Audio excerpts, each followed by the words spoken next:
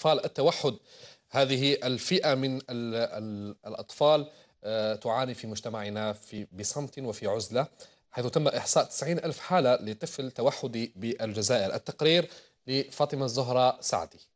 هي عيون تبحث عن الأمل عن الحب في قلوب الآخرين عن الأمان بلمسة صادقة عن لعبة يقضون يومهم بها.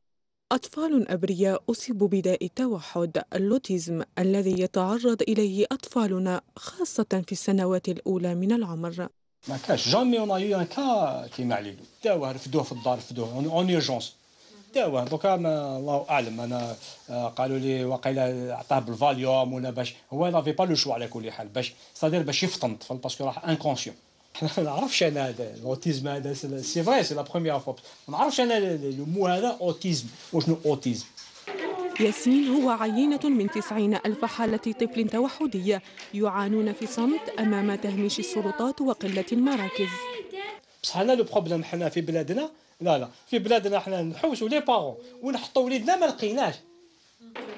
يساهم التشخيص المبكر والمعالجة المركزة على تحسين قدرة معظم أطفال التوحد في إقامة علاقات والتواصل مع الآخرين وبالتالي خدمة أنفسهم عندما يكبرون.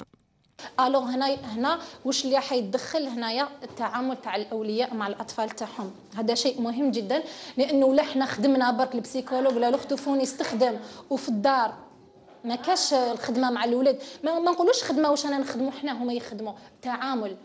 أطفال التوحد في تزايد يوما بعد يوم في ظل أوضاع مخيبة للآمال فلا مستشفيات ولا مراكز مختصة بهم فهل من مغيث؟